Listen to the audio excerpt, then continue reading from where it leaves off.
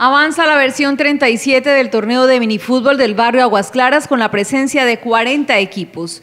En el torneo se destacan los conjuntos de los corregimientos y el Magdalena Medio. Bueno, el balance ha sido muy bueno, eh, hemos tenido dos fines de semana que han traído festivos y esto lo hemos aprovechado, o sea, hemos adelantado los equipos que iban a, varios que iban atrasados y también lo que, lo que iban bien también todos, hemos adelantado todos los equipos para tratar de emparejarlos todos. El campeonato se divide en dos grupos y estos son los líderes hasta el momento. Aquí tenemos eh, Llanito, tenemos San Miguel del Tigre, eh, son equipos eh, Termogalán, son equipos que, que van pegando duro, de aquí los alrededores de Barranca Bermeja, pero son muy equipos muy responsables y bueno, tenemos tres equipos de así de afuera muy buenos.